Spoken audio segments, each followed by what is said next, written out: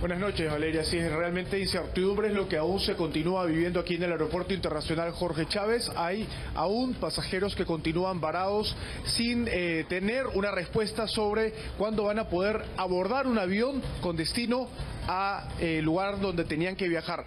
¿Qué tal? Buenas noches. Continúan con malestar aquí, lamentablemente. Sí, muchísimo. O sea, esto es un nightmare. Sí, está terrible. Le estaba diciendo al anterior periodista que arriba la gente grita. O sea, la verdad, nosotros venimos de Florida y no había escuchado así una revolución hace mucho tiempo. Lamentamos mucho que ustedes se lleven también esta imagen del Perú. Cuénteme usted, eh, ¿es la primera vez que está aquí en nuestro país? No, es la segunda vez, pero estaba diciendo, a Perú no vuelvo en, un buen tiempo. Eso es la decisión drástica que usted ha tomado. Sí, porque el, aeropuerto, el aeropuerto es, es un caos, o sea, y no, no dan solución, sino la gente grita y, y nos dieron, sí, este, para comer, nos dieron, pero nosotros necesitamos es volar. Yo tengo mi hija ya en Cusco, me está esperando, y las otras personas del grupo y pues realmente estamos aquí. Es lamentable, realmente. Marlo, pregúntale cuántas horas, cuántas horas va en el aeropuerto esperando. Pregúntale, por favor. Desde las nueve de la mañana. De hoy desde las 9 de la mañana. Miren, es lamentable realmente que, que los extranjeros, que los turistas se lleven esta imagen y duele realmente escuchar que una persona que había venido con un ánimo de conocer, de ver a su hija que está en Cusco, pues diga que no regresa al Perú en muchísimo tiempo. ¿Cómo es posible que nuestro aeropuerto de esta imagen, el aeropuerto internacional que tenemos, la primera puerta para recibirlos, de una imagen de esta manera? Somos vergüenza internacional. El avión de Iberia que estaba parado en Pisco, el aeropuerto alterno, los pilotos, la tripulación está ahí más de 27 horas. Y los pilotos y las tripulaciones, para que sepan un poco, tienen un tiempo de duty que tienen que cumplir. Ahí se está afectando directamente también con la seguridad del vuelo. Y la seguridad es lo primordial cuando se habla de aviación. Entonces, ¿qué está pasando? ¿Por qué no tienen toda la infraestructura necesaria para poder darles la seguridad a los pasajeros y a las tripulaciones al ser un aeropuerto alterno, ¿cómo no va a tener todo lo necesario? Es realmente indignante lo que ha sucedido el día de ayer y el día de hoy, pero uno de los pasajeros, a las personas que también ha sido afectada, ha sido nuestra querida Andrea Arana. Ella se fue a disfrutar de un fin de semana a Pucallpa y hasta ahora no ha regresado porque no ha podido tomar ese vuelo. Andrea, estamos conectados contigo. Andrea está en el aeropuerto de Pucallpa. Cuéntanos un poquito qué es lo que se está viviendo allá y hace cuánto estás esperando tu vuelo, Andrea. Buenas noches, Valeria, y buenas noches a todos los que están enlazados en estos momentos. Esta es la realidad, lo que se vive en el aeropuerto de Pucallpa. En estos momentos acaban de cancelar por tercera vez el vuelo de retorno a Lima. Todos nosotros teníamos el vuelo para el día de ayer a las 8, y, perdón, para el día de ayer a las 10 eh, y 45 de la noche. Nos programaron para hoy 8 y media de la noche. Posterior a ello, a las 9 de la noche. Lo pasaron para las 10 y media de la noche. Y en estos momentos acaban de cancelar el vuelo. Todas estas personas han estado en la sala de embarque desde las 6 y 30 de la tarde. Dicen que a muchos de ellos les dieron un poco de alimentos para que puedan seguir pasando las horas, pero ya son prácticamente las, las 11 y pico de la noche. Muchos de ellos no tienen en dónde pasar la noche. El presupuesto que era para un fin de semana ya se alargó a dos días. Acaban de cancelar el vuelo y lo están reprogramando para el día de mañana. ¿A qué hora va a ser esa reprogramación? Muchas personas tienen acá desde las 4 de la tarde. Desde las 4 de la tarde todos debimos estar acá y mucho más. Hay señores que tienen más horas aquí. ¿Qué nos dicen? Que no es culpa de ellos, como Corpa, que es el que ha sido el del problema, y no las aerolíneas, que ellos no pueden hacer nada más que reprogramar y reprogramar el vuelo. Nos acaban de cancelar el vuelo. ¿Para qué hora me voy a poder embarcar mañana? No lo sé. Somos, tengo entendido que en mi vuelo habían 140 personas. Aquí están, aquí estamos todas, esperando embarcarnos. Muchos de ellos vinieron por placer, al igual que yo, tan solo para pasar el fin de semana, muchos por trabajo, muchos de ellos tienen muchas cosas que hacer en Lima, muchos de ellos necesitan llegar a citas médicas. Hay personas que necesitan llegar a su destino y no pueden. Todos nosotros estamos varados. No podemos tomar otro vuelo. Se ve que venden vuelos, compras el vuelo, no te puedes embarcar. En nuestro caso, para poder salir de Pucallpa, un avión tiene que llegar de Lima. y el avión que debería haber llegado a Pucallpa el día de hoy desde temprano no ha salido. O sea que en Lima la gente que tenía que llegar a Pucallpa está muchísimas más horas, inclusive, imagínate.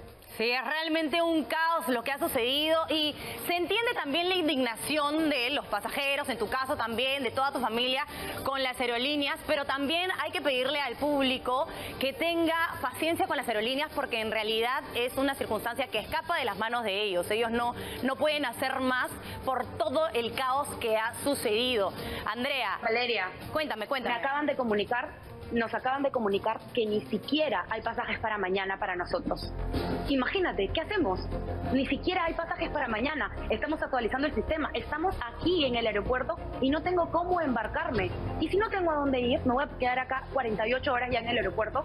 Con el tercer día serían 72. ¿De qué estamos hablando? Estamos hablando de un exceso de situaciones en las que realmente se escapa de nuestras manos y muchas de estas personas muchos de ellos no tienen a dónde ir, vinieron por placer de la misma manera igual que yo, a pasar un fin de semana y esto ya se ha convertido en un caos, ¿no? Mucha gente tiene que, llegar a su destino. Sí, definitivamente es un caos todo lo que está sucediendo, pero si ya te quedas 48 horas ya en bus nomás te vienes, Andrea, porque tenemos, te tenemos que tener acá, de todas maneras. Valeria, los buses han colapsado de la claro. y los pasajes se han disparado de 500 soles en adelante. ¿Y cuánto dura el, cuánto dura el, tránsito hasta Lima? Usualmente serían 17 horas 18 horas, pero con la cantidad de flujo que hay, son muchas horas más. Entonces, realmente la situación no es para nada favorable. Es una situación bastante complicada. Miren la cantidad de personas que son. Cada vez son más, cada vez son más. La gente está muy molesta por allá. Las señoras quisieran dar su descargo también. Hay personas que realmente no le están pasando nada bien. Y bueno, es una situación bastante complicada y lamentable, ¿no? Totalmente. Sí, sí entendemos, pero ya pasaron muchas horas. Totalmente, es súper comprensible la indignación de todos los pasajeros con lo que está sucediendo. Nadie se imaginaba que su presupuesto podría llegar a sobrepasar un día, dos días, porque en realidad las aerolíneas no estoy segura si están obligadas a cubrir estos gastos por el mismo motivo de que no ha sido una falla de sus aviones o de su tripulación o de su aerolínea. Entonces queremos escuchar también, veo que ahí estás con pasajeros que están indignados y quieren contar su testimonio también. ¿Cómo es esto? Sí, mira, acá me encuentro con una señora, ¿cuál es su nombre? Nancy. Señora Nancy, ¿usted hace cuánto que vino a Pucallpa? el fin de semana. Fin de semana, ¿Y desde cuándo ha intentado eh, poder retornar a Lima, al igual que nosotros? Desde ayer, en la noche. Claro, estamos así. Nosotros llegamos y vuelvo a las ocho y media. Ajá. Lo hemos hecho ocho y media. Once y media. Y ahora dicen que no. Yo tengo mi hijo, yo fin de semana viene para acá y dice, ¿cuál es señora? Tiene su hijo. Esta es una burla para nosotros. Sí, realmente es bastante complicado, le entendemos. Estamos en exactamente la misma situación. Somos 140 personas las que estamos en este avión y que ni siquiera nos han informado, al menos por el aplicativo, que ni siquiera hay vuelos para mañana. Entonces, ¿qué hacemos? De verdad que es una situación complicada, Valeria, la que vimos cientos de personas. Miren, la cola es inmensa, va hasta el fondo. Si pueden, si pueden mostrar, la cola va hasta el fondo. Entonces, es una situación bastante complicada. Gracias, señora. Esperamos realmente que usted y yo podamos embarcarnos. O sea, miren, miren cómo estamos. Así es, y lamentablemente van a tener que esperar más hasta que esos vuelos se reprogramen, porque como les estaba comentando, las tripulaciones tienen un tiempo de descanso que tienen que cumplir. No se trata de que lleguen a Lima y agarren el siguiente vuelo y el siguiente avión. Y además, todo esto recae en el Estado, porque esa segunda pista de aterrizaje no está operativa o estuvo operativa un tiempo, pero no se pudo activar apenas ocurrió el cortocircuito de las luces de la primera pista de aterrizaje. Son muchas preguntas y una cadena de errores que ellos han tenido que prever desde un inicio. Los aeropuertos alternos, el de Pisco, el de Trujillo, colapsando porque solamente abarcan en el espacio de la plataforma dos, tres aviones máximo, en Pisco nueve, diez aviones máximo, pero aún así colapsó también. Entonces, ¿qué es lo que está sucediendo? ¿Por qué no tenemos la infraestructura necesaria para poder ser un aeropuerto de primera y poder eh, tener un plan de contingencia que abarque todas, eh, todos estos datos. O sea, de verdad que es indignante cómo es que ese, esa pista de aterrizaje, la segunda, que ha costado millones de dólares en realizarse, ¿por qué no está operativa? De verdad que es una indignación total. Marlo, continuamos contigo en el aeropuerto. Por favor, quiero saber, las personas que están ahí, ¿les han dado alguna respuesta? ¿Van a tener dónde dormir esta noche? ¿Algún reembolso se les ha dado, se les ha programado para cuándo? Así, lo, cierto es que hay muchas preguntas y pocas respuestas hasta el momento. El presidente de Corpac se presentó esta tarde en el Congreso de la República y reforzó la idea de que se trataba de un evento fortuito.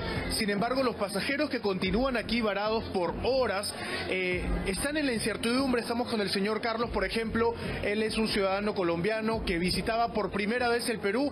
Hoy es, es su cumpleaños y él está aquí varado, sin saber cuándo va a poder continuar con su viaje, caballero. Lamentablemente le toca atravesar eh, esta fecha importante para usted en esta situación. Y, y- y con mi esposa, mi esposa está allá en Cusco, a mí, a mí no me pusieron en, mi- en el mismo avión. Y era un viaje justamente para celebrar su Para cumpleaños. celebrar el cumpleaños, para celebrar todo, eh, teníamos eh, 14 personas y lamentablemente no se sabe si mañana hay seguridad, pero nosotros tenemos un, viaje a Machu Picchu el miércoles y que confiando en el Señor vamos a poder hacerlo. ¿Cuánto habían invertido para realizar este viaje, caballero? Nah, como casi unos dos mil dólares, yo creo. Por persona. Sí.